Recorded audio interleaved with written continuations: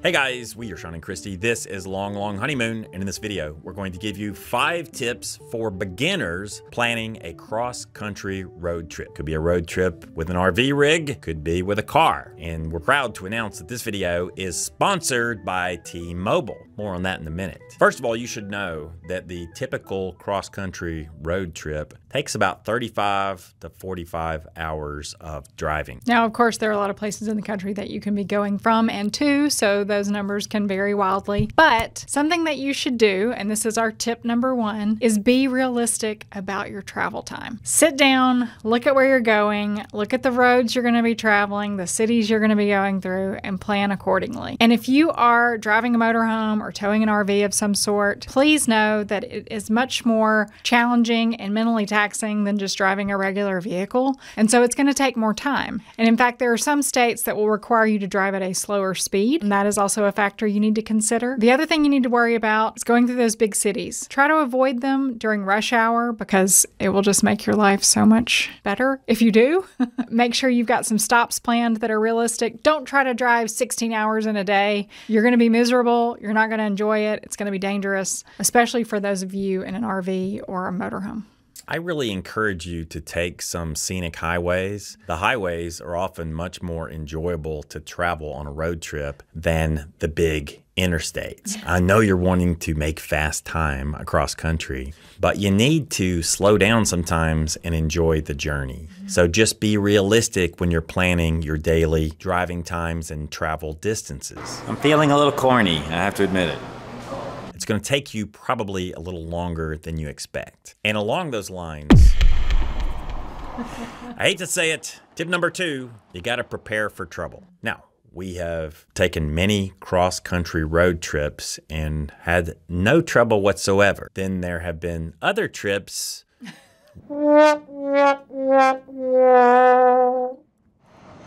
where we've had a little bit of trouble. Wah, wah, wah. So be prepared. It means you need a basic toolkit. I would say bring like a tire gauge just to check your tires. Bring an air compressor in case you need to put air in a tire. Bring a first aid kit. You never know if you're going to have a little accident here or there. Bring a window smasher slash seatbelt cutter in case you were to have, be in an accident and need to be able to get out of your vehicle. Pack a couple of mylar blankets. They're super tiny. They weigh nothing and they could save your life if you happen to get stuck in like a snowy situation or just colder temperatures where you're broken down overnight or something. Most of these scenarios will probably never happen to you, but if they did, some of these small little things that you can pack could really save your life. A reflective vest is a good idea in case you did break down on the side of the interstate.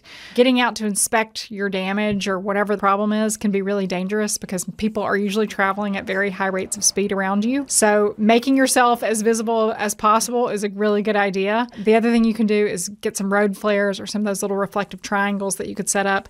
Anything you can do to just make your vehicle more visible to people passing by on the road so that you don't get hit is a good idea. One of the most important lessons you learn when you're doing your first cross country trip is to expect the unexpected. It's so crucial to take every precaution you can while you're out there on the road. Regardless of how far away you're traveling or how much pre trip planning you've done before hitting the road, you really have to be ready for anything to happen. We stay protected on the road with help from T Mobile because they're committed to keeping all their customers covered while traveling, especially us more experienced travelers. T Mobile is the only national carrier with nationwide discounted rate plans for those of you 55 and older. Plus, T Mobile customers with the Magenta plans now will get a year of AAA Basic at no extra cost, and you can even add RV coverage to that plan. Do your future self a favor and get covered. Because you really never know what could happen when you get out there on the road. And boy, aren't we proof of that. it's all happened to us.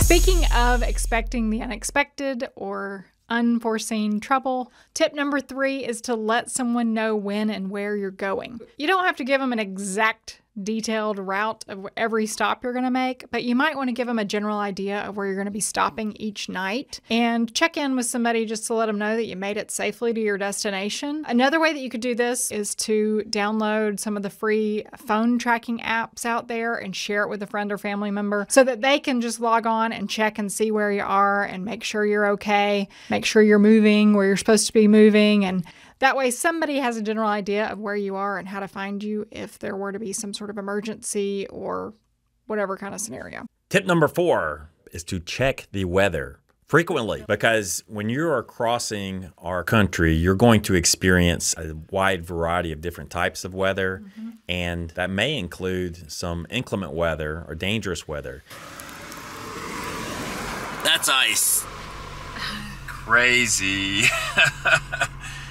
I mean, the snow was thick on the windshield, and that's fallen just in the last 10 minutes. We have experienced the gamut over the years, and I'm thinking of the ridiculous torrential rainfall in Valdez, Alaska, mm. the snowstorm that trapped us for several days in Yellowstone National Park, tornadoes in Michigan, and windstorms in Utah. We've seen the gamut, and you really do have to check the weather forecast, or else you may find yourself stranded in a place like Yellowstone. But I got to admit, I do have fond memories of being stuck in Yellowstone. Actually, only because we were prepared. We had we were prepared. propane, we had food, we had we had what we needed to survive. What better on a cold winter day than grilled cheese and tomato soup? Don't tell the park rangers, but it was a lot of fun. this brings us to tip number five pack like Goldilocks. Not too much, not too little, just right. You want to be well prepared, but in my humble opinion, you don't want to overpack. You already have one kitchen sink, you don't need to bring two. You know, there is a condition that plagues many RV travelers that I call two of everything syndrome. And we suffer from it every year when we bring two or more of everything mm-hmm. and you end up with too much clutter.